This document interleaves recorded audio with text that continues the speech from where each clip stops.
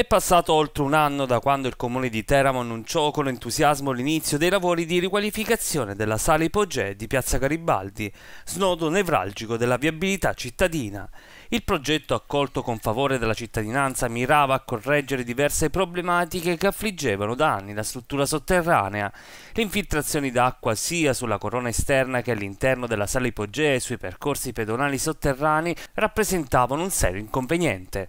L'amministrazione comunale aveva previsto una rapida conclusione dei lavori fissando come termine ultimo il mese di settembre 2023 in tempo per la riapertura delle scuole. Tuttavia il percorso di riqualificazione non è stato privo di ostacoli.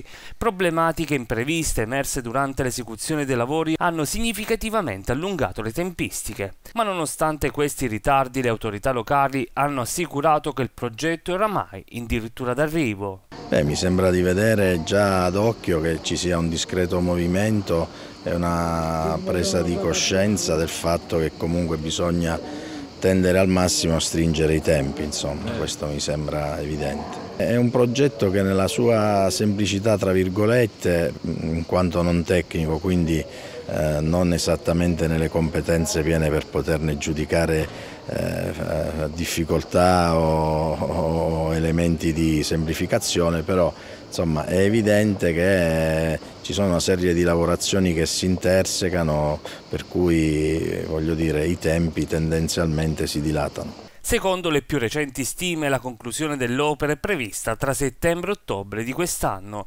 Gli interventi finali si concentreranno sulla risoluzione delle ultime criticità e sull'assicurare che la sala Ipogea e Piazza Garibaldi siano pronte ad accogliere nuovamente cittadini e visitatori in condizioni ottimali.